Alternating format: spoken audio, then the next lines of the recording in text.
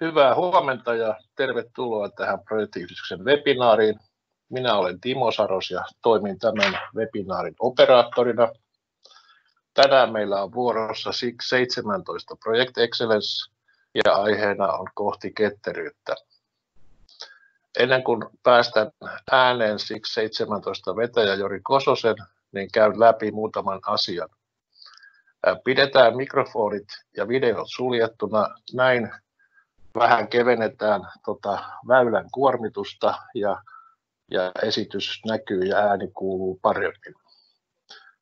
Olkaa aktiivisia ja kirjoittakaa kysymyksiä ja kommentteja tuonne chattiin, niin sekä Jori että minä voimme purkaa niitä sieltä. Muistutan, että webinaari tallennetaan ja se julkaistaan jonkun ajan kuluttua PRyn YouTube-kanavalla. Siellä meidän YouTube-kanavalla on nyt aika runsaasti uusia videoita. Me ollaan kohta pidetty 20 webinaaria näissä poikkeusoloissa. Tämän webinaarin jälkeen saatte palautekyselyn, jossa on linkki tähän tämänpäiväiseen esitysmateriaaliin. Ja olkaa hyvä ja kertokaa siinä palautteessa, minkälaisia asioita haluatte käsiteltävän tulevaisuudessa. Nyt mä annan puheenvuoron Jori Kososelle. Jori varmaan esittelee itsensä. Ole hyvä, Jori. Joo, kiitoksia. Otan tuolta tota, ja, jakotilan päälle ja tota, niin, lähden siitä sitten tuota, eteenpäin. Eli tota, niin, näkyykö, tarkistetaan vielä se kerran, että näkyykö sieltä kalvoja. Kyllä näkyy tänne päin. No niin, sitten hyvä. Joo, eli aloitetaan tästä, tästä tuota muutamalla alustussanotuksella ja tosiaan niin lähdetään ensin liikkeelle siitä, että mikä tämä SIG 17 oli, jos, jos osa teistä ei ole vielä ollut, ollut aikaisemmin täällä, täällä mukana. Eli voisi sanoa näin, että tässä on nämä kolme keskeistä tavoitetta tai, tai painopistettä, eli usein näissä tilaisuuksissa pyrin käymään läpi erilaisia viitekehyksiä kautta hyödyntämään niiden, niiden anteja, oppia ja, ja käytänteitä, mitä olen arjessa asiakkaiden kanssa soveltanut. Ja, ja tota, se on semmoinen tietynlainen selkeä viitekehys ja pohja koko IPMA, IPMAn tuota, niin kuin sikki, mikä tässä, tässäkin pyörii. Toinen näkökulma on tämä oppinen verkostuminen, eli, eli tuota, toki etänä se on hieman eri tuntuista varmaankin, mutta kuitenkin se, että opittaisiin näissä verkostoidutaan ja, ja itse kukin sitten ammat, ammatillisesti voisi itseään kehittää ne tilaisuuksien kautta. Sitten tilaisuuden luonteesta voisi sanoa sen, että, että vuorovaikutteisuus on oleellista, niin kuin tässäkin tullaan, tullaan teitä niin kuin aktivoimaan kysymysten kautta ja sitä kautta niin kuin tuota, pyrin siihen, että myös ei ole pelkästään yhdensuuntaista tämä, tämäkin dialogi, mitä tässä läpikäydään. Eli noin on tämmöisiä SIKin 17 perusasioita ja tänään teemana on kohti, kohti ketteryyttä.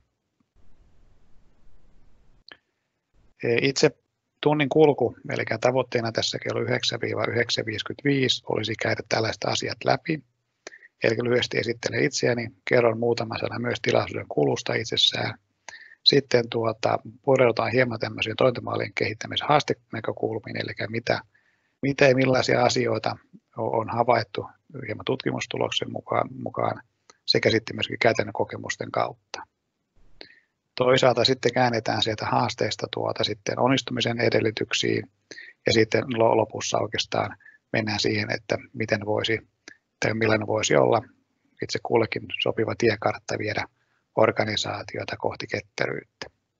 Ja kuten huomaatte, käytän sanaa organisaatio, eli näen tässä myöskin omassa, omasta kokemusta sen usein, että ketteryys on paljon muutakin kuin vain, vain yksilökohtaista osaamista, mutta toki se on myöskin tärkeää, mutta organisaation ketteryydestä enemmänkin tässä puhutaan.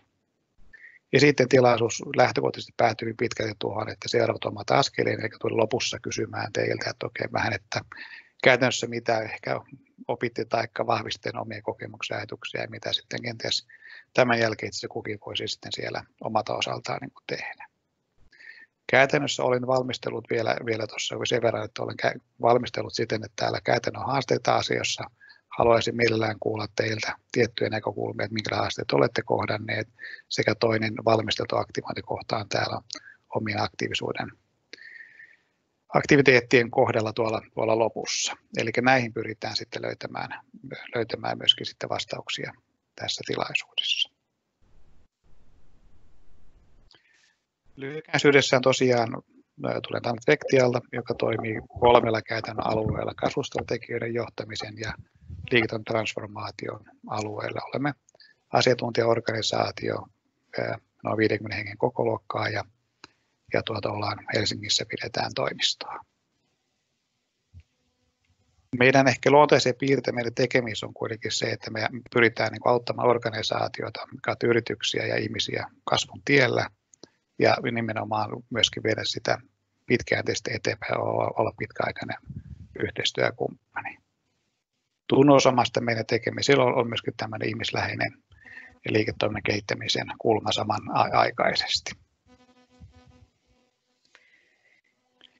Kun projektijohtajalta ketteryyttä tarkastellaan tarkemmin, niin voisi sen kuvata tällä tavalla, että toimitaan käytännössä näillä kolmella alueella, kulttuurin kehittämisen alueella, johtamisen malli mallikulmalla, jossa usein puhutaan selkeästi johtamisesta, strategian jalkauttamisesta sekä sitten myöskin tuota, salkun hallinnasta. Strategista osaamista alueella hyvin pitkällä puhutaan sitten konkreettisesti osaamisen kehittämistä, eli käytännössä valmennusliiketoiminnan kulmalla lähestytään siellä. Ja strategisten muutoshankkeiden kohdalta vasta puhutaan siitä, että miten, miten tuemme asiakkaiden hankkeita hankejohtajatyyppisissä rooleissa muutoksenjohtajan rooleissa. Oma taustani pähkinänkuoressa olen, olen tuota 25 vuotta toiminut konsulttina, valmentajana kautta projektijohtajana. Ja, ja tota, tällä hetkellä niin kuin IPMA, IPMA perheen kulmasta työskentelen tuota Global Project Assessorina ja tuomarina, eli osallistun näihin vuosittaisiin kilpailujen ja avardeihin. Sitten oli myöskin sertifioitunut IPMA-tason tuota, projektihallinnan ja portfoliohallinnan konsultiksi. Tämmöisillä taustoilla. Mutta tärkeimpään asia ehkä pikkuhiljaa sitten konkreettisesti sisältöpuoleen. Eli tilaus on kulusta muutama sana, eli olen jakanut tämän osion muutamaan useampaan osioon. Tulen tuota osin aikana aktivoimaan teitä kysymyksillä. Ja kysymyksiä vastaan tosiaan tapahtuu se Teamsin chattikanavassa, josta Timo Saros sitten auttaa, että ne sitä näkyy, koska kuten tiedätte varmaan Teamsissa, kun minulla on tämä esitys päällä, niin en sitten täältä suoraan näe, minkälaisia kysymyksiä tulee. Eli Timo sitten rohkeasti vaan pysäyttelee, jos siellä vaikka tulee jotain kysyttävää matkalla, niin pysähdytään sitten myöskin niihin matkalla tuleviin kysymyksiin. Ja niin kuin tuossa alussa sanoin, niin pyydän tuossa lopuksi vastaamaan kysymykseen, mitkä ovat seuraavat omat askeleeni kohti, ketteryyttä. Se on siellä sitten lopussa. Eli toivon mukaan tunti on teille antoisa ja saatte ajatuksia ja, ja pohdintoja, että mitä kaikkea tämä, tämä voisi minulle tarkoittaa kautta minun organisaatiolle, niin sinne toivon muutamia chattikanavassa myöskin tuota vastauksia.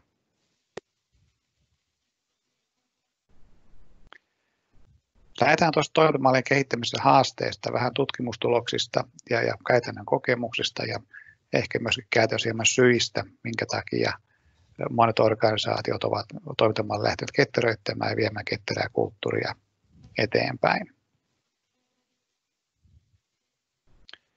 No, kun ajatellaan laajemmin ottaen vähän, että minkälaisia haasteita projektitoiminnassa on, ja tuossa on otsikon mukaisesti tosiaan puhutaan siitä, että minkä takia projektihallintaan kautta johtamiseen tulee kiinnittää erityistä huomiota ja alaotsikkona vähän näkökulmaa, että, että mielestäni hyvä pohtia, että minkä tyyppisiä kehitysmenetelmiä on syytä ottaa käyttöön.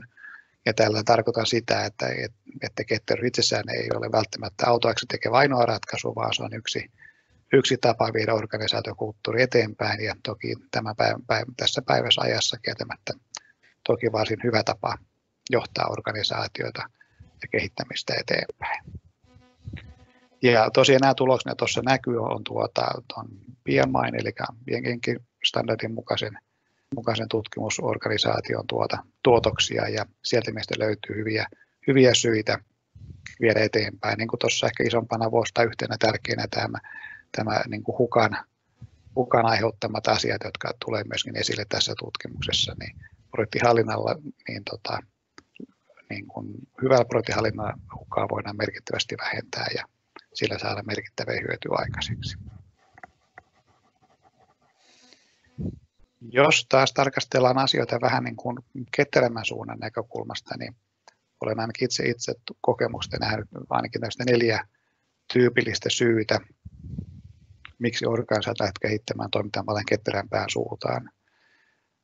Ensimmäinen kohta on tämä niin kuin resurssien, resurssipullonkaulat, joka on, voisi sanoa, myöskin useissa organisaatiossa hieman ikuisuushaastekin toisaalta, mutta toisaalta myöskin sitä, että mitä sillä ketterä voidaan ehkä saavuttaa, niin on sitä, että fokusoidaan hieman harvempiin kehittämistoimenpiteisiin ja, ja sitä kautta pystytään parantamaan resurssallokaatiot, eli, eli kehittämistöihin osat ihmiset ovat harvemmissa projekteissa mukana ja pystyvät antamaan suuremman panoksen niihin projektien kautta kehittämisaihioihin. Tota, Kakkoskohta on tämmöinen, että, että kyky niin kuin priorisoida niin kuin projekteja kautta tehtäviä ja, ja oikeastaan ketteryys on havainnut sitä, että aika usein kysymys siitä, että pyritään tekemään, tekemään vähemmän samanaikaisesti ja sitten toisaalta myöskin tuota nopeuttamaan niitä kehittämissyklejä ja tällä tavalla kyseinen haaste priorisointikysymys hieman, hieman helpottuvat.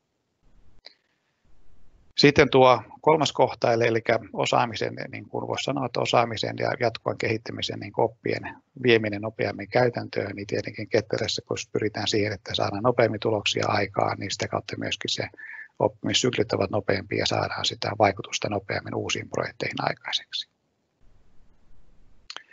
Sitten neloskohta tavallaan tämä määrittelyn näkökulma, eli ehkä isommissa projekteissa voisi sanoa näin, että se määrittelyn merkitys on totta kai tärkeää, mutta myöskin sitä, että maailma muuttuu ehkä ympärille nopeasti, niin, niin myöskin tavallaan tämmöinen ketterämpi tapa inkrementaalinen kehittäminen on sitten, sitten omalla tavallaan tehokkaampaa. Tosin tuosta ei nyt toki varmaan tutkimuksia löytyy, mutta en ole silmiin hirveän paljon silmiin tullut sellaista, että kuinka paljon sitten tuolla inkrementaalinen kehittämisellä on tuloksia pystytty parantamaan, mutta siitä varmaan voi myöskin yleisöltä löytyä jotain mielenkiintoista havaintoja myöskin, eli voitte sekin jakaa siellä vaikka chattikanavalla.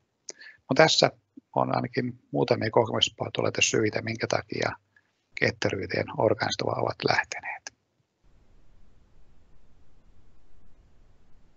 Sitten vielä tuota, muutamia näkökulmia täältä eri, eri lähteistä myöskin tavalla, eli että niin kuin aika paljon voisi sanoa näin, että kun eri lähteitä tutkii, niin, niin, niin tuota, löytyy aika paljon niin kuin hyviäkin asioita, mutta toki tutkimukset usein niin kuin kiinnittää huomiota sitten näin niin kuin heikkoihin kohtiin.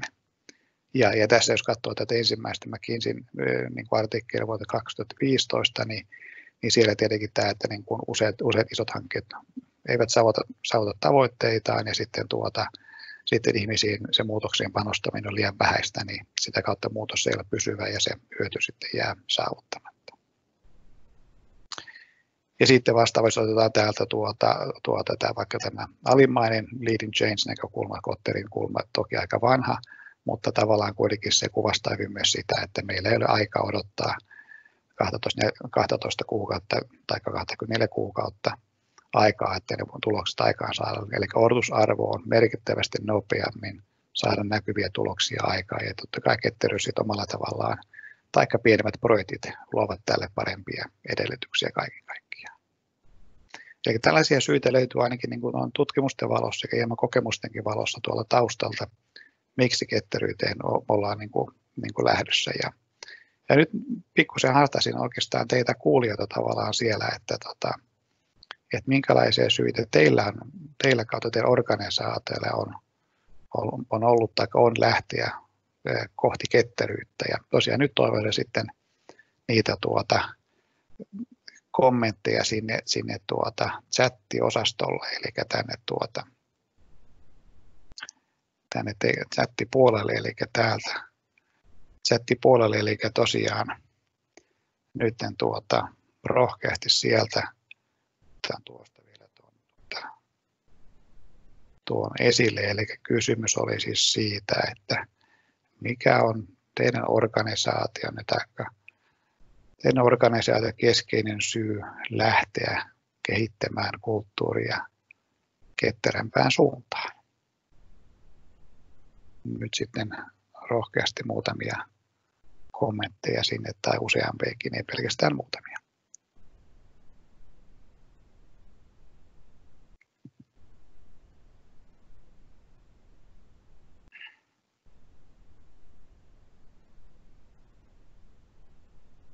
Joo, projektit saadaan, projektit saadaan nopeammin käyntiin, se on varmaan yksi hyvä. Joo. Nopeammin tuloksia.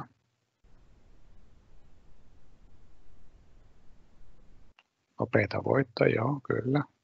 Ja kyllä tämä elinkaaren lyhentäminen ja nopeampi käynnistäminen eri tavalla tulee esille. Time to market, kyllä, eli voi saada, saada, saada tuota niin kuin tehdään niin kuin asiakastyötä, niin saada tuotteita paremmin markkinoille nopeammin sitä kautta parempaa bisnestä kenties. Joo. Näkyvyyttä kehityssalkun puolelle joo. Nopeus reagoida. Motivaation näkökulmaa. Kokeilu ja oppiminen, joo, kyllä. Priorisointi ja työpöydän tekemisten keskittäminen, kyllä. Päätöksenteko, kyllä, hyvä. Markkinamuutos sopeutuminen nopeampaa ja joustavuus, kyllä. Okei. Kyllä, hyvin, hyvin paljon. Nyt laittakaa vaikka vielä vaan tulemaan, sinänsä tosiaan, niin kuin sanottu, nämä tallentuu, niin voidaan sitten jälkikäteenkin vielä katsoa näitä hyviä tämmöisiä kokemuksia oppia, mutta aika paljon tuossa on semmoista, tosiaan niin kuin huomaan, että sitä jos katsotaan muutama näkökulma sieltä, että vaikka tämä nopeampi käynnistäminen, niin, niin se on varmaan yksi todellakin tär, tärkeä pointti, että saadaan nopeammin käyntiin, mutta saadaan myös nopeammin tulokset niin kuin aikaiseksi ja sitten myöskin ehkä se täällä vielä fast näkökulma Mikolta myöskin tuli, joka on sitten osa myös sitä ketteryyttä myöskin, että, että sitten saadaan niin kuin tietää siitä, että oliko se projektin aloitekehitystoiminta hyvä vai ei, niin voidaan fail fastinkin kannata selkeästi oppia nopeammin. Sitten oli time markettia kautta markkinamuutoksen reagointinäkökulmia useampia sekä priorisointikyvykkyyttä saadaan niin kuin lisää. Joo, oikein hyvä. Eli kyllä tämä, niin kuin, jos ajatellaan vielä näin, että näkisi itse myös sillä tavalla tilanteen, että, että vaikka on puheita siitä, että ketteryys on niin ohimenevä ilmiö, niin itse uskon kyllä siihen, että, että se, se on varmaan jossain määrin niin pysyvä ilmiö. Varmaan se kyllä niin kuin siitä puhutaan eri lailla ja varmaan se koetaankin eri lailla organisaatiossa, niin se muoto varmaan tulee vuosien varrella, varrella muuttumaan. Että on, on itselläkin kokemuksia noin neljän vuoden takaa, eräs organisaatio lähti ketteröittämään toimintaansa ja, ja saatiin siinä reilussa vuodessa erittäin hyviä liiketoimintatuloksia niin aikaa, mutta edelleen matka jatkuu ja, ja rakenteet uudistuu ja taas ketteryys on siellä jatkuvana teemana, että siinä määrin tämmöinen jatkuva kehittäminen ja ketteröityminen on, on varmaan sitä, sitä tota, eri muodossa myös tätä päivää, mutta myöskin tulevaisuutta. Ja sitten tuolla, tuolla hyvä vielä välimäältä Monikalta, että pilkon mammutti palasi ennen syömistä, se on myöskin hyvä, hyvä periaate ja syy myöskin tuota ketteröittää. Kyllä. Hyvä, tota, mennään vähän eteenpäin. Eli kyllä me nähdään siis summerattuna, kyllä nähdään selvästi, että on, on syytä, syytä syitä löytyy, hyviä syitä löytyy viedä organisaatiota ketterämpään suuntaan ja, ja näitä keskeisiä teemoja sieltä hyvin, hyvin nousikin esille. No katsotaan sitten vähän tuota, mitä tämmöisiä tuosta vähän niin kuin tutkimustuloksia jälleen kerran pikkusen, mutta ehkä voimakkaammin nyt tämmöisiä niin kuin käytännön kokemuksia, ehkä hieman isossa kuvassa muutamia pieniäkin ihan konkreettisia asioita, mutta tämmöisiä että mitkä on ollut syitä, niin kuin, että onnistutaan viemään organisaatioita ketteremmäksi. Niin taustoitetaan sieltä sitten, sitten vähän ajatuksia tähän liittyen. Eli ensinnäkin tuossa lähdetään ykköskohta siitä, että, että kyllä se ketteröittäminen on aika pitkälle, se on, minun mielestä se on niin kuin ihan ykkösjuttu on se mindsetti, eli organisaation eri tasoilla ihmisten niin kuin jaettu ymmärrys siitä, että, että, että mitä se ketteryys tarkoittaa ja mitä siellä niin kuin tavoitellaan. Eli vaikka äskeisiä, mitä mainitsit tuolla tavallaan, niin jos niitä rupeaa kääntämään niin kuin kolmeen viiteen tavoitteeksi tai kautta selkeämmäksi visioksi, mitä ketteryys tarkoittaa, niin varmasti huomataan sitä, että siellä todellisesti kulminoituu asioita tämmöisiä näkökulmia, että kun se asiakka- asiakka- asiakkaalla luotava niin kuin arvo on niin kuin tärkeää, no tosiaan tuossa niin about limiting base näkökulma, eli se, kun se hukan poistaminen, tehokkuutta tavallaan niin kuin, niin kuin lisää, varmaan tulee elementtejä siitä, että mikä on se niin kuin muutos eri tasoilla organisaatioissa, asiantuntijatasolla, projektitasolla, keskijohdon ja ylemmän tasolla. Ja, ja sanoisin näin, että muutosta tarvitaan kaikilla eri tasoilla, mutta sen, sen tuota, vaikutus on erilainen. Ja ainakin itse olen kokemusta nähnyt sen, että se ehkä haastavit on tavallaan se, että, että miten nämä niin kuin eri tasolla tahtavat muutokset kohti ketteryyttä näkyy organisaatiossa. Et usein näkee sen, että, että siellä niin kuin asiantuntijatasolla kautta projektitasolla tehdään niin kuin ketterästi nopeammin projekteja niin kuin läpikehittämistoimenpiteitä. Ylhäällä ehkä puhutaan, ylijohto puhuu ehkä siitä ketteryydestä noin niin kuin isossa kuvassa niistä, niistä tavoitteista ja puhuu sitten ehkä niin kuin, niin kuin salkun tasolla ja sitten ne puhuu siitä, siitä ja toiminnallistaa sitten sitä nopeampaa niin kuin salkun johtamista niin kuin nopeasyklisempään formaattiin kuin aikaisemmin. Mutta sitten siinä jossain sitten välimaasto sitten on se gappi, että miten tämä dialogi ensinnäkin tapahtuu ja meneekö ne kuinka synkronissa keskenään ja sitten minkälaisia puristuksia sitten se linjaorganisaatio siellä jää, jää tota tässä, tässä muutoksessa. Et muutos tarvitaan kaikilla tasoilla, mutta näiden muutosten integrointi niin kuin toisiinsa on, ainakin mun kokemuksen mukaan se keskeinen haaste, että siten, että organisaatio kokisi, että kaikki on siinä, siinä mukana. Koska uskon näin, että, että johdota kysyy, että onko meidän, ollaanko myös ketteryyteen, niin että kyllä ollaan ja näitä tällä tehdään. Ja sitten kun kysyy asiantuntijoita, miten ketteryys johdon kulmasta näkyy, niin sitten siellä on joku semmoinen pilvi siinä välissä, että siellä oikein se, välttämättä se muutosviesti ei niin kuin mene läpi. Et mindset on ensimmäinen ja kaikilla tasoilla on se, on sen yksi niin kuin iso, iso viesti tavallaan. Ja kuitenkin se myöskin ei, ei, ei ole Project Excellence näkökulma haluan sanoa niin kuin sitä, että, että se jatkuva oppiminen pitää olla keskiössä vahvasti myös ketteröitämisessä maailmassa ja se rohkeus, niin kuin, niin kuin fail fast esimerkiksi, on pystyä rohkeasti menemään oppia ja oppia viedä arkeen mahdollisimman nopeasti. No tästä oikeastaan niin kuin tuossa vähän äsken puhunkin tavallaan ja ehkä se sitten tästä kohdasta voisi sanoa näin, että ehkä täällä tämä alimainen pointti, kuten niin kuin tuossa puhuin tuosta kolme tasosta jo, mutta sitten ehkä täällä niin kuin näkökulma, että way of thinking on tavallaan täällä ylhäällä. Toki se on kaikille tärkeää, en sano sitä, että se on mitenkään ylemmän johdon asia, vaan se on koko organisaation asia, mutta ehkä se tavallaan täällä, mihin se vaikuttimet tavallaan on tavallaan täällä ylhäällä löytyy niin kuin näistä niin kuin uskomuksista, odotuksista ja siitä tahtotilasta, mitä se kettery sitten loppumetrein niin kuin tarkoittaa. Ja sitten tavallaan tämä niin kuin keskijohdon haaste, ehkä tavallaan siellä ehkä sitten kuitenkin se johtamisen tavat ja muodot ja rakenteet sitten pitäisi muuttua.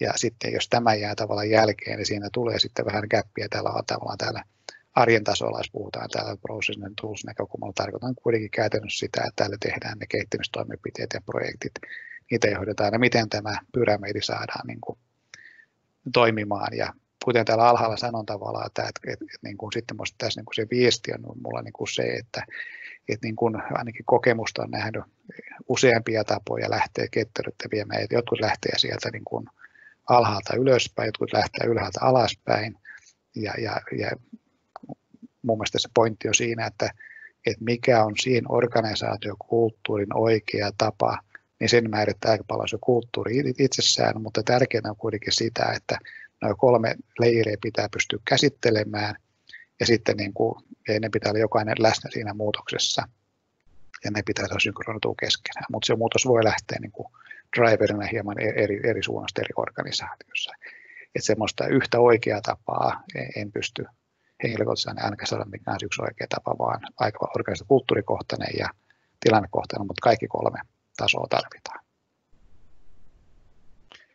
No sitten, jotta siinä muutoksessa tavallaan sitten onnistuu tavallaan, kyllä sitten on kokemusta nähty tavallaan se, että siellä on ehkä semmoisia niin tiettyjä fundamentteja asioita tavallaan. Tuossa on tuo compelling change vision tavallaan, eli se tosiaan, että mistä siirrytään ja mihin suuntaan niin kuin mennään, niin miten tavallaan sen, sen kuva saadaan rakennettua ja viestittyä siten, että se on merkityksellistä eri organisaatio niin kuin tasoilla, niin se on aika, aika ison tuota dialogin usein niin kuin paikka.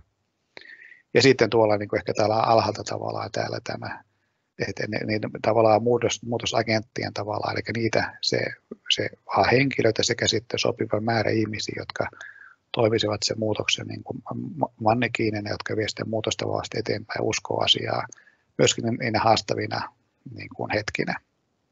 Sitten toista se kokeileva kulttuuri, niin, niin se on tietenkin taas just sitä, että, että sitten että myöskin tässä ehkä voisi sanoa näin, että mikä tässä ketteryydessä tuo ehkä sen, sen ehkä se vahvuus onkin myöskin on myös sitä, että se, se tota, toista se on kokeilevaa, toista se pyrkii lyhentämään projektien elinkaaria ja kautta kehitystoimen elinkaaria ja saadaan nopeampia tuloksia aika, joka luo uskoa organisaatio, että se muutos niin kuin tapahtuu. Niin se on mielestäni yksi niin kuin sen muutoksen vahvuus ketterin toimintamalliin niin kuin siirryttäessä. No sitten tämä viimeinen Agile Methods, Active Dialogue and Feedback, niin tietenkin on sit sitä, että kuinka nopeasti ja hyvin se organisaatio voi sitten oppia siitä, siitä, siitä kokeilukulttuurista ja, ja sitten myöskin sitä omalla tavallaan voisin sanoa siitä, mikä on se maturiteetti siihen, että, että sitä palautetta annetaan, otetaan se vastaan ja, ja, ja opitaan ja oppi pitäisi tapahtua myös kaikille eri tasoilla, ei pelkästään asiantuntijatasolla, vaan myös ylimpään johtojen myöden tavalla, että se kulttuuri loutuu niin avoimeksi ja sitä kautta niin kuin dialogia korostavaksi, että sitä palautetta voidaan käsitellä ja niistä voidaan niin kuin jatkuvasti niin kuin oppia. Niin tuossa on kolmas kohta tavallaan, mitä, mitä olen nähnyt, että on tärkeää tämän kulttuurimuutoksen onnistumisen näkökulmasta. Tota, otetaan tuohon semmoinen, tota, mulle valmista kysymystä oli tuossa, mutta tota, niin onko sinne tullut kenties jotain kommentteja, ei välttämättä ole tullut, mutta eikä tässä kohtaa voisi ottaa muutaman, tuota, jos kysyn sillä tavalla vaikka tuota, ne näkökulmaa, että, että tuota, otetaan tämä pyramidikuma hetkeksi aikaa tuohon. Ja kysyisin tavallaan siitä, että kysymys on, että, että tuota, mistä suunnasta teidän ketteröitysmuutos on, on lähtenyt liikkeelle, tai jos se lähti liikkeelle, mistä teidän mielestä tulisi lähteä liikkeelle, jotta se kulttuurimuutos onnistuisi. Niin sinne meeting chattiin taas muutamia kommentteja siihen.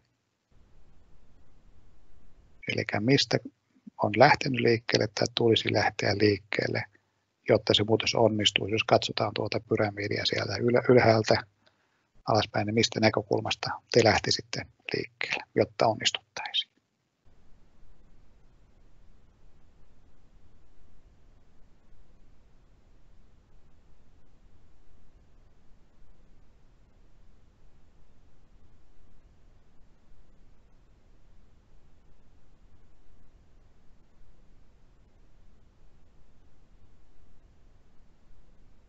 Tuleeko? Joo, asenteista tulee siellä jo, että mindsetti, kyllä. Se on mielestäni se iso asia. Ylhäältä alhaalta. Joo, mindset-prosessit, kyllä joo. Liiketoiminnan johdosta, joo.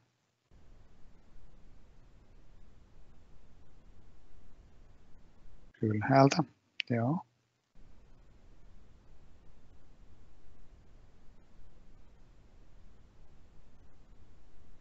No tuossa ehkä tämä asenne, asenne kautta ylhäältä, niin kyllä se sinne määrin varmaan, siis eikä näkisi, että top down, bottom up, niin varmaan sekä että varmaan tarvitaan onnistuakseen, mutta varmaan asennekysymys on suuri. Ja tuli mieleen semmoinen käytännön esimerkki vaikka tuosta niin kuin asenne näkökulmasta, että kun eräs organisaatio lähti puhumaan niin kuin ketteröittämisestä ja sen tuomista hyödyistä ja mahdollisuuksista ja asiantuntijat ajatteli näin, että sehän on hieno juttu, että tämä mahdollistaa meille kaiken näköisen niin kuin vapauden te- tehdä ja, ja tota niin, Tämähän on niin kuin hyvä juttu. Lisää vapautta ja saa kokeilla ja fail fast ja meillä on kiva yhdessä.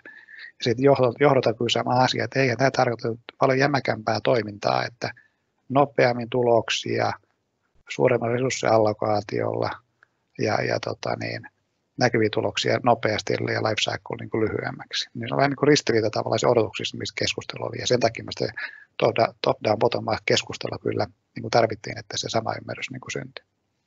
Joo. hyviä siellä joo.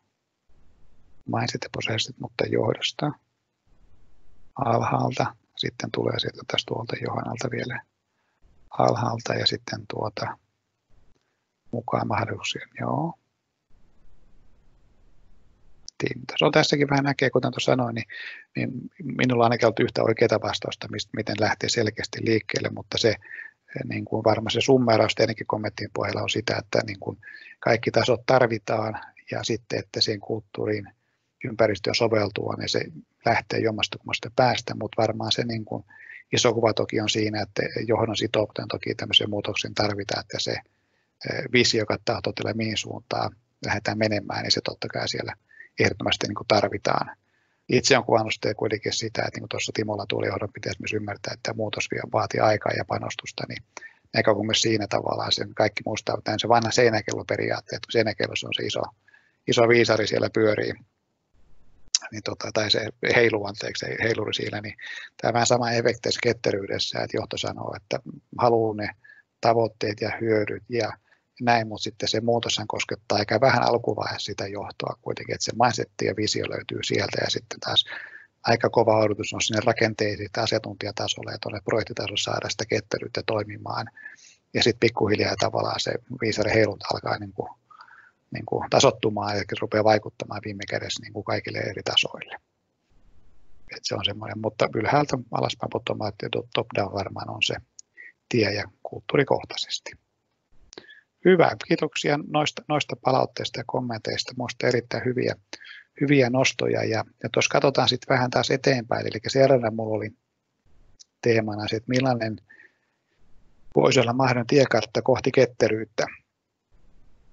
Ja, ja tosiaan siinä minulla on niin muutamia, muutamia poimintoja, on kokemuksia arjesta, vähän tutkimustuloksia, jälleen kerran vähän, ja sitten to, toisten myöskin tämmöinen tuossa PRY järjesti tämmöisen askelmet ketteryyteen tuota, työpajan tuolla, tuolla Innopolissa ja tuossa tota, tammikuun alussa ja siellä tämän Imagine Leader-konsepti niin kuin pääarkkitehti.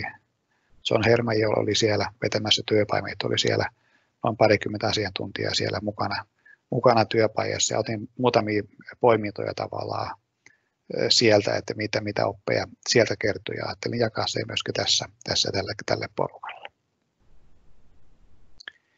Ja, ja tosiaan niin tota, kun katsotaan sitten vielä tota, niin kuin reference guiden kulmat tätä asiaa, niin, niin minusta se niin kuin, yhtenä niin kuin, hyvänä referenssidokumenttina voisi sanoa näin, niin on ehdottomasti hyvä, niin kuin, voi niin kuin sanoa kirjan mukaisesti reference guide, mistä tota, löytyy elementit sen kulttuurin kehittämiseen. Eli siellä tosiaan, jos tämä reference guidein tutustuu, niin, niin sieltä löytyy selkeästi niin kuin, niin kuin työkalut siihen, että miten sitä organisaattorin kehittämistä voidaan lähteä tekemään ja sieltä löytyy elementit sille organisaatiokulttuurin kehittämisen osaamisvaatimuksille ja sen pohjalta, jos niin kuin organisaatiossa vaikka pitäisi omia niin kuin, muutamia työpajoja, niin se tiekartta pystyy synnyttämään räätälöinen oman organisaation sopivaksi.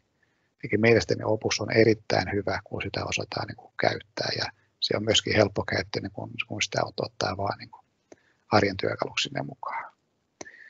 Se myöskin avaa tämmöisiä niin kuin, ehkä niin kuin, näkökulmia ja lähetystapoja niin kuin tähän uuteen niin kuin, uudenlaisen johtajuuteen ketterässä maailmassa ja se antaa myös tavallaan mielestäni hyviä insightteja tavallaan siihen, siihen kulmaan.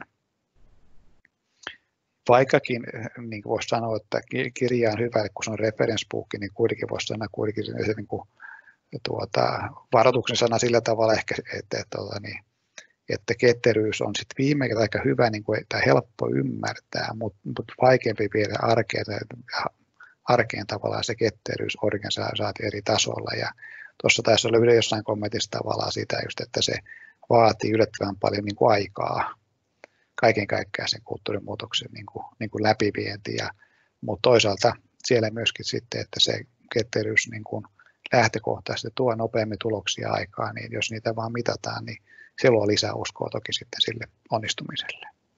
No Reference Guide myöskin käsitteli IPMAN perinteisesti voisi sanoa näin, että niitä 29 kompetenssielementtiä, Ja siellä toki on tarkastu asioita, mitä ne sitten tarkoittaa niin kuin nimenomaan ketterässä ympäristössä, että löytyy ne erikseen kirjattuna ja miten se on nähty liittymään tähän ketteryyteen, ketterän tapaan johtaa ja näihin ne löytyy sieltä. Ja tosiaan, niin tuossa sanoin, niin sieltä pystyy rakentamaan kyllä aika selkeän tiekartan sille ketterän kehittämisen niin kuin kulttuurimuutokselle ja myöskin yhtä lailla sen, sen tuota, henkilökohtaisen osaamisen kulmalta myöskin yhtä lailla. Et siinä mielessä niin kuin erittäin hyvä, hyvä dokumentti niin kuin tutustua ja eikä rajaa millään tavalla, että onko kysymys kliinisestä scrumista, safesta vai mistään, niin se ei ota kantaa siihen vaan, vaan, vaan nimenomaan, että miten se kulttuurimuutos aikaan saadaan ja nämä sitten menetelmät ovat sitten niin kuin, siitä oma, oma luku sinänsä. Mutta suosittelen tutustumaan kirjaan ehdottomasti. Varmasti antaa jokaiselle, on sitten konsultti tai sitten, sitten kehittäjäorganisaatiossa, ne varmasti saa hyviä työkaluja omaan arkeen. No sitten hieman niitä oppeja sieltä, sieltä työpajasta tavallaan tuolla vähän poimintoista, niin kuin nähdään, työpaja oli silloin vielä ennen tätä korona-aikaa ja oltiin työpajassa ja ja syntyi ja, ja tuolta nostin tuohon niin keskiön sitten tavallaan, että mitä se ketteryys niin kuin, niin kuin tuota, vaatii. Ja nämä oikeastaan aika pitkälti löytyy sieltä työpajan keskustelun kautta, mutta myöskin käytännössä ne poiminnat löytyy sieltä sieltä, tota, sieltä frameworkista itsessään, eli sillä tavalla me työ hyödynnettiin koko tuota kyseistä dokumentteja eikä reference guidea siellä hyödynnettiin koko ajan. Ja sieltä sitten niin kuin esille tuli näissä esityksissä tavallaan sitten, että minkä tyyppistä asiaa siellä, tai minkä asioita vaaditaan, että ketteryydessä onnistutaan ja saadaan se muutos niin kuin onnistumaan. Ja, ja tuossa aika pitkälle mä tuosta ehkä nostaisin muutaman asian esille, että openness, honesty ja transparency – niin ehkä ne on sellaisia niin kuin kulttuurisia asioita, jotka on hieman hitaampi muuttaa. Miten saada tämmöinen organista kulttuuri aikaa ja, ja, ja se vaatii niin kuin hyvää johtamista ja muutosta kaikilla organisaatio eri tasoilla. Sekä sitten ehkä toisin nostaisin tästä vielä esille, esille että viimeisen benefits realized at different levels. Eli myöskin, että se hyöty pitää näkyä siellä niin kuin, niin kuin projekti- kautta kehittämistasolla – linjajohdossa sekä ylimmässä johdossa. Silloin, silloin se muutos saa vauhtia ja pysyvyyttä ja, ja se mandaatti jatkaa, jatkaa eteenpäin sitä, sitä niin kuin muutosmatkaa, joka usein on niin kuin, riippuen organisaatiosta, voi olla vuosi, voi olla puolitoista vuotta ennen kuin näkyviä niin kuin, niin kuin johdon kannalta merkittäviä muutoksia näkyy, mikä se tilanne onkaan, mutta ne on ehkä pari asiaa, mitä nostaisin tuossa kohtaa esille.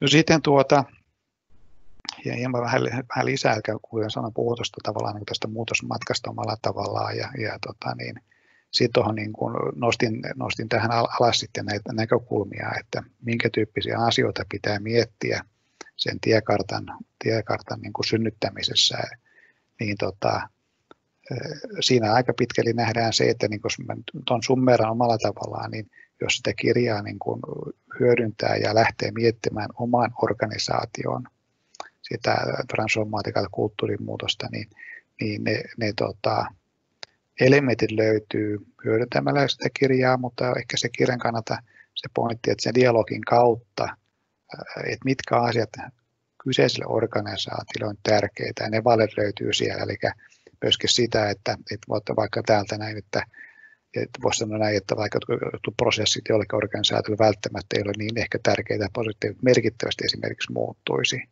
että ollaan oltu ketteryt menossa, menossa pitkälti, siellä on jo on prosessi siinä suunnassa tai siinä kunnossa, että, siellä tapahtuu ehkä vähemmän muutoksia. Niin siis siltä tarkoitan, mutta toisaalta sitten, että siellä pitäisi niin kuin enemmän kiinnittää vaikka huomiota culture and values, eli miten se kulttuuri ja organiset arvot tukee ketterän päätoimintatapaa ja mallia, niin sitten sinne pitäisi olla enemmän fokusta, eli se, nämä niin kuin tule sen organisaation kehittämisporukan niin kuin käydä keskustelun kautta läpi, valita, mitkä niin kuin mahdollistaa sen, sen tiekartan onnistumisen ja muutoksen onnistumisen.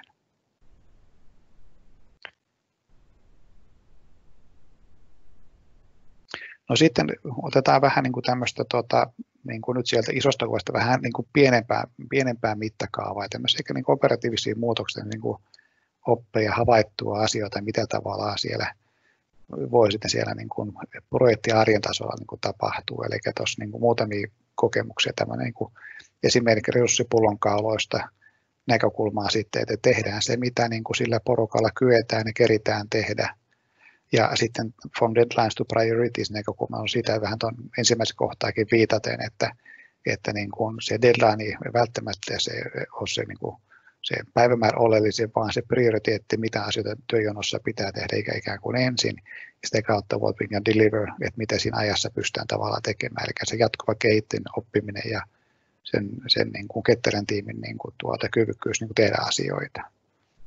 Ja se from analog to digital, digital dialogue on ehkä se näkökulma sitten, että, että miten tässä, niin kuin, ennen kaikkea tässä nyt ehkä nykyisessä normaalissa, uudessa normaalissa, miten sitä halutaan kutsua, että kun olla, ollaan etänä enemmän, niin siellä ehkä niin kuin se, se niin kuin voisi sanoa innovaatiotoiminnan haaste on niin ehkä se suurin juttu tällä hetkellä, koska katsoo mediakin kirjoituksia aika paljon. Tällä hetkellä haastetaan sitä, että miten se, niin kuin, se operatiivikyvykkyys niin kuin löytyy organisaatioissa ja myöskin ketterässä ympäristössä, mutta sitten tavallaan se innovaatio uudistuminen tavallaan, niin selkeästi hidastuu tämä etätyöskentelyn kautta tavallaan, kautta luovat, luova, luova toiminta, niin on nähty selkeitä haasteita tämän valitseva ympäristö hieman tähän niin kuin tuovan. Ja sitten tavallaan tämä, sitten tämä seuraava pointti, että näitä niin kuin suurista business benefit hyödyistä tavallaan niin kuin järkeviin niin kuin kehitystoimenpiteisiin ja, ja, ja, myöskin näkyviin tuloksiin siinä mielessä, että saadaan niitä, niitä nopeita voittoja aikaisia ja nähdään, että ne tie on oikea ja ne hyödyt tulee sitten siellä ajan kanssa, niin on tavallaan selkeä semmoinen tekijä, joka auttaa tavallaan siitä siinä muutoksen ja muutosmatkan toteuttamisessa.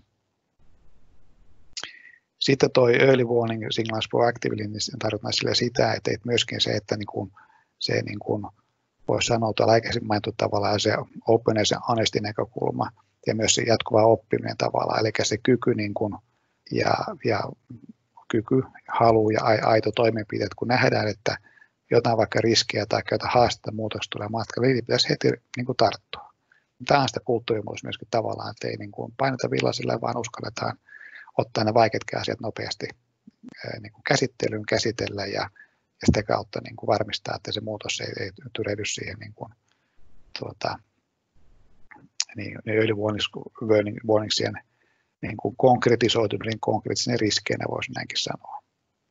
Sitten tuo viimeinen pointti täällä tavallaan oikeastaan se, että, että tavallaan tämä, että niin kuin ja tämä vähän sitä niin kuin, toimintamallin mielestä fail fast sillä tavalla, että, että, niin kuin, että, niin kuin voidaan kokea erilaisia työjonon johtamisharjoituksia ja kaiken näköistä, niin, niin oikeastaan se, että, niin kuin, että tehdään uudella tavalla, kokeillaan, opitaan ja muutetaan toimintatapoja jatkuvasti.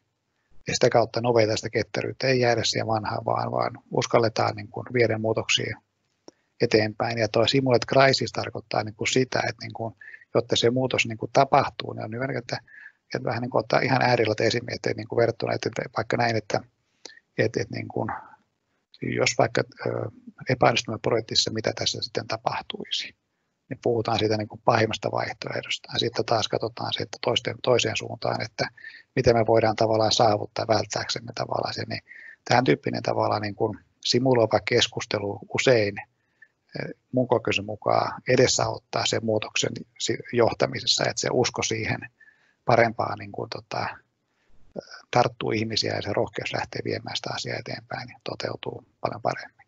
Mutta samalla, että nähdään se, se riskit siellä myöskin taustalla.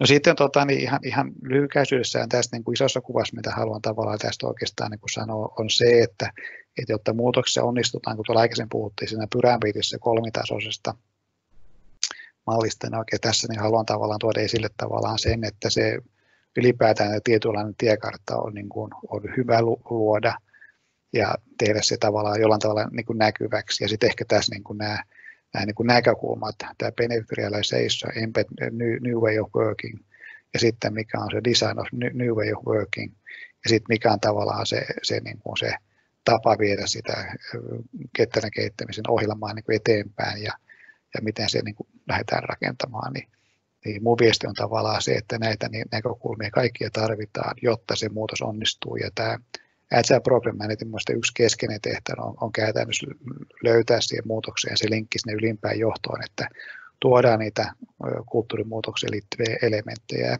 Yksi konkreettinen esimerkki voi olla sitä, että, että niin kuin on aidosti seurattu niin kuin sen portfolion tai portfolioiden projektien keskimääräistä läpimenoaikaa. Jos ne lähtee lyhenemään, että siellä tehdään uudella tavalla töitä, niin se on yksi indikaattori, niin, niin sen tehtävänä on tavallaan tuoda, osoittaa näitä hyötyjä, miten sitä rupeaa tapahtumaan, koska se, vaikka taloudellinen hyöty, niin se nähdään toki aina tietyllä viiveellä. No sitten, että se muutoksessa onnistutaan tavallaan, niin ehkä tämmöinen niin kuin, niin kuin tuota, hyvä niin kuin tiedostaa tavallaan se, että, että, että niin kuin organisaation niin kuin laajastikin ottaen on hyvä ymmärtää, mitä se muutos, muutosjohtaminen niin kuin tarkoittaa. Eli se tämä ihmisten käyttäytymisnäkökulma ja sen muutoksen niin kuin nää, niin sitä ei saa unohtaa. Että jos, jos se jää niin kuin sieltä aliarvostettuun pienen, pienen pienen rooliin, niin sitten se muutosvastarintaan varmasti törmätään ja se hidastuu entisestään. Muutosvastarintahan mun mielestä on positiivinen asia. Sen haastaa vaan sen, niin kuin, että ollaanko oikealla tiellä, miksi ollaan menossa, mihin suuntaan, minkä takia. Ja se on osa viestintää ja muutosten hallintaa ja mä näen sen niin kuin positiivisena asiana ja se on jokaisessa muutoksessa kuitenkin niin kuin läsnä. Sitä ei voi myöskään välttää.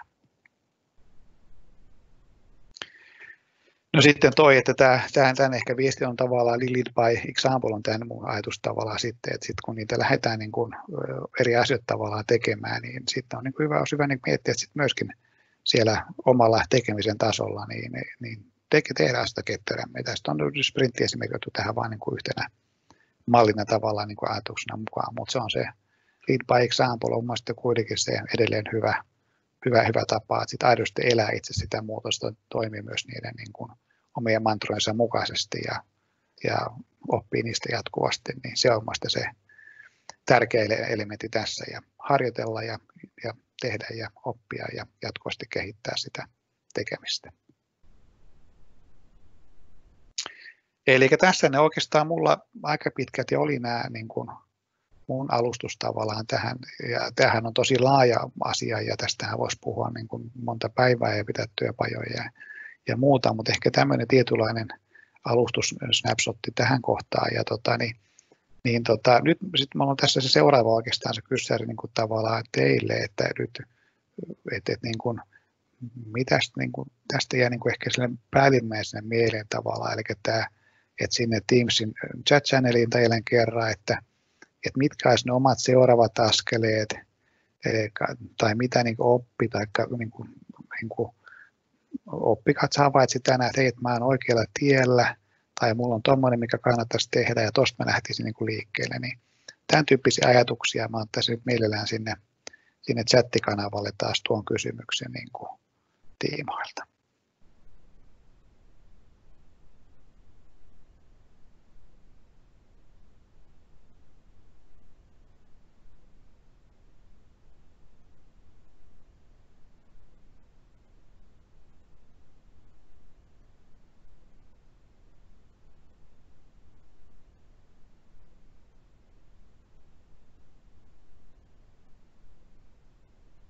Mitkä olisivat ne seuraavat askeleet, joihin voisin tarttua, tai voisimme organisaationa tarttua.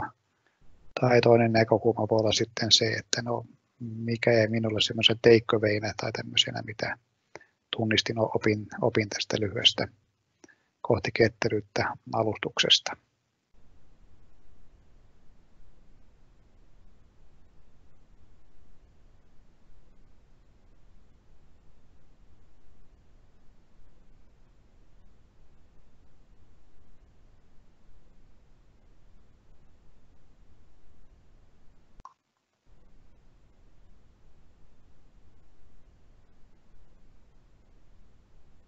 Joo, Villeltä on hyvä siihen IPIMA-dokumenttiin hyvä tuota, tutusta ehdottomasti suosittelen.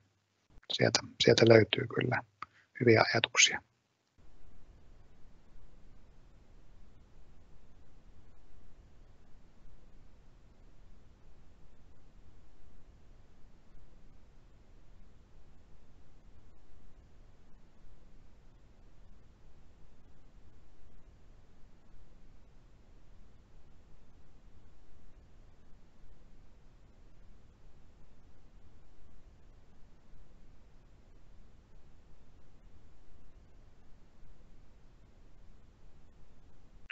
Siellä Next Stepeissä vähän samoja ehkä ajatuksia saattaa olla kuin täällä aikaisemmin tavallaan näitä, näitä tuota,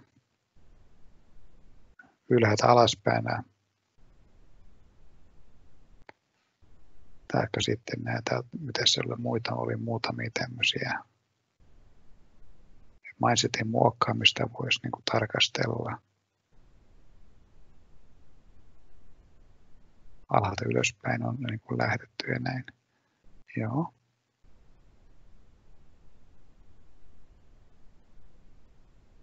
Uskallus kokeilla, tehdä ja kokeilla, joo.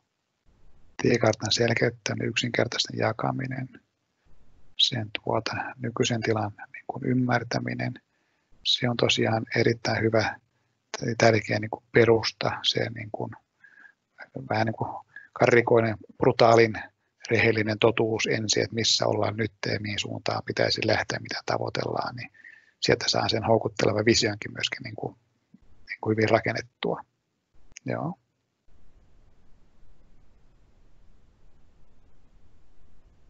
Ja tämä tosiaan täällä eri alalla myöskin tosiaan hyvä tämä myöskin, että missä organisaatio kokee menevässä ketteryys versus yksittäisihmisten kokemukset. Ja kyllä.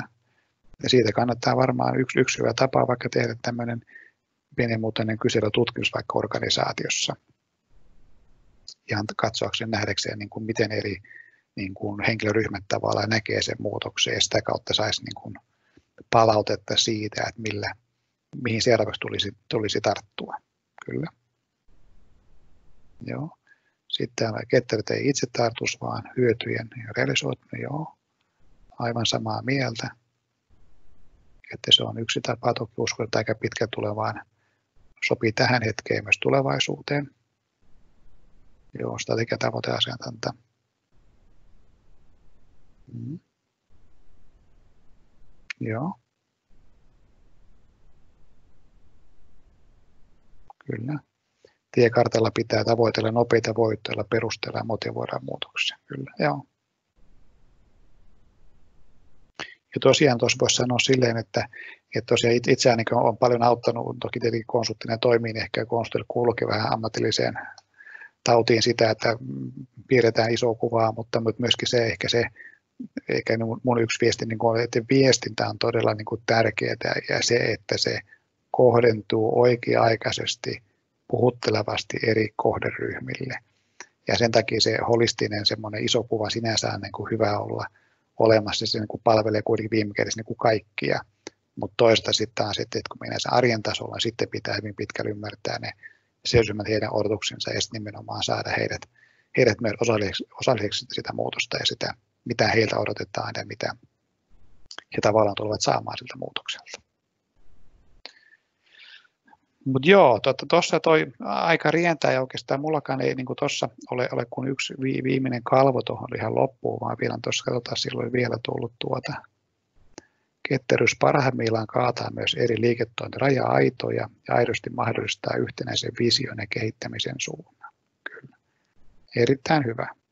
Tuossa juuri toissapäin keskustelin organisaation kanssa tuota, ja, ja nimenomaan voisi sanoa näin, että myöskin heidän ketterysmatkaa, kun on katsonut nyt oikeastaan niin kuin kahden vuoden niin kuin jälkeen, muuttivat organisaatiorakenteen painopisteitä funktioista enemmän niin kuin, tavallaan, niin kuin, no ei prosessimainen, mutta sanotaan matriisimaiseen selkeästi tavalla, ja siellä nimenomaan nyt se, se matriisi on niin kuin voimakkaampi verrattuna niin kuin funktio, ja yksi niin kuin, syytä tässä oli tavallaan sen organisaatiotason niin kuin periaatteessa madaltaminen, mutta myöskin ketteryyttäminen ja selkeästi vastuuttaminen tavallaan niihin matriisissa olevien liiketoimintojen sen sijaan, että ollaan niin hyvin toimintokeskeisiä.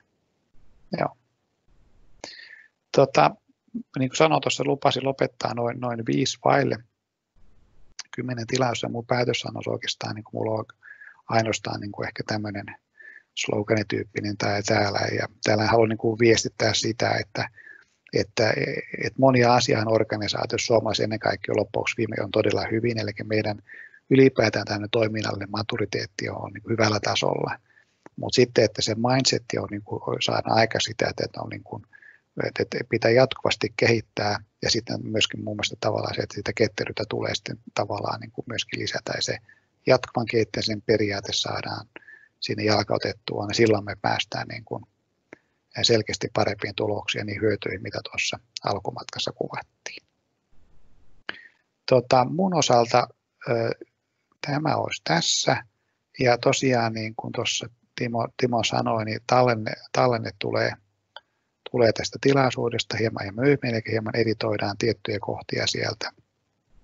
Ja tätä kautta sitten myöskin saatte tavallaan tämän esitetyn aineiston, mitä tässä on läpikäyty sekä tarinan sekä teidän hyvät arvokkaat kommentitkin myös tässä kohtaa.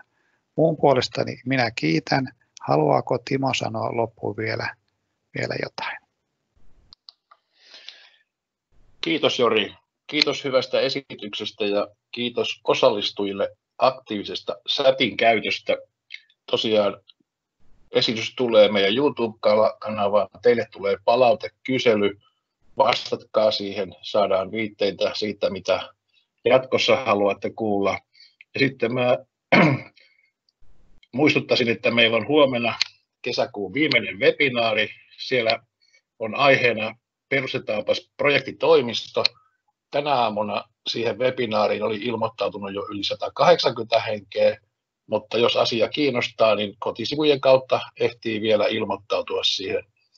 Toivotan kaikille hyvää kesän jatkoa ja tavataan näissä webinaareissa. Kiitoksia.